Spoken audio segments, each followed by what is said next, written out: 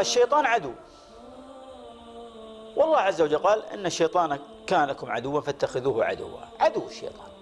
لكن السلاح الذي يحميني من هذا العدو هو ذكر الله عز وجل.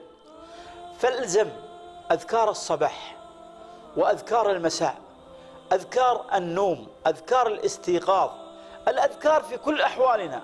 لذلك نجد أن الذكر كله توحيد.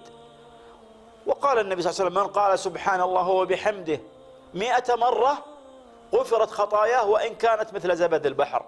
من قال سبحان الله وبحمده سبحان الله العظيم هذه كلمتان خفيفتان على اللسان ثقيلتان في الميزان حبيبتان إلى الرحمن. إذا الذكر بابه مفتوح فعلينا أن نلزم به السنة وكذلك نكثر من الذكر ونستعد لهذا اليوم العظيم سواء كان في دنيانا أو في آخرتنا.